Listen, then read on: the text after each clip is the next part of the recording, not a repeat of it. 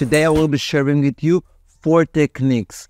All four of them were proven to knock out opponents in real fights. In the first two, you're going to use your heel to hit the opponent, and the third and fourth one, you use a roundhouse kick. It's similar to the Meia Lua de Compasso, but it has no spin.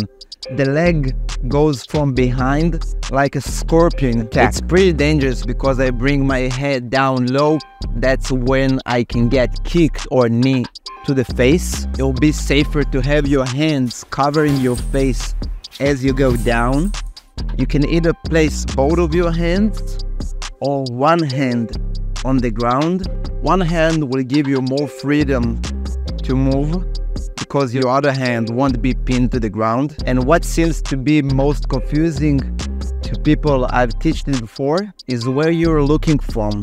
Most people think that if their leg is going from behind, so their eyes should be. But in this attack, you're looking from one side and kicking from the other side. In capoeira, I've seen this setup works before, as if I'm going to kick to one side and then the leg comes from the other side, like so. This kick has several names. We're going to call it Scorpiao for today, which means scorpion. The next kick is the famous capoeira kick, Meia Lua de Compasso, that can be also performed with two hands or with one hand. If you're going to kick it with one hand, you have the other hand covering your face, which might be a little bit on the safer side watching tons of UFC fights combined with more than two decades of experience I have in capoeira, I was finally able to give back to all of you guys for all the support and growth that came recently. I put together a completely free guide on the key elements from capoeira that can almost instantly improve your game in every martial art. I will personally email it to you. All you need to do is click the link below and you'll get your guide. The most common mistake when people try to learn this kick is that they're not aiming their foot right. This is the common mistake. If my heel point upwards, it won't hit my partner right. I want to have my foot turned like so.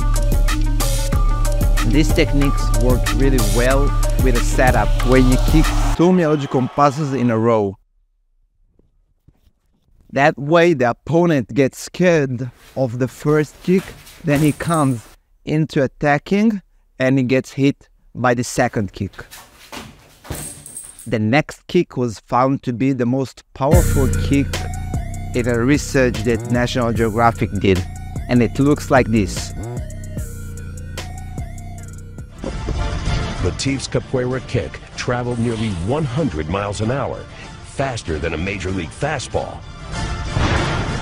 The blow delivered a stunning 1,800 pounds of force. What's most important to understand about capoeira kicks is the kinetic power that they're generating. The first sweep is used to get the opponent's attention towards his foot. At that moment, I coil and then I kick upwards with a jump and a roundhouse kick. Again, fake, coil, jump, roundhouse in order to generate as much kinetic power as possible, in this kick you can also imagine your body as a whip. Try to elongate the movement and snap it at the end. This kick is called martel no chão, which translates to hammer kick from the ground. Next is parafuso.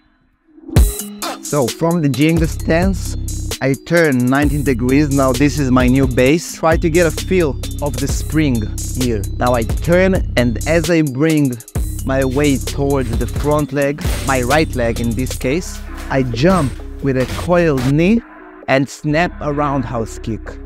This kick was used beautifully by Venom in Bellator. Parafuso can also be very good at covering distance or confusing your partner about the distance because because I'm actually able to jump pretty far while executing this kick. Let me know which of the kicks you think is the most effective and the most powerful one. Here I tried to sequence them into a 3 hit combo.